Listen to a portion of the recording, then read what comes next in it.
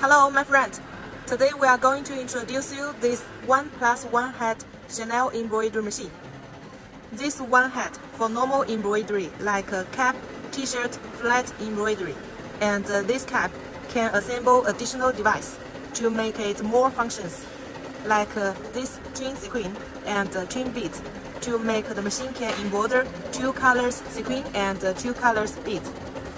And uh, this side is the chenille hat it can make chain stitches embroidery and chenille embroidery.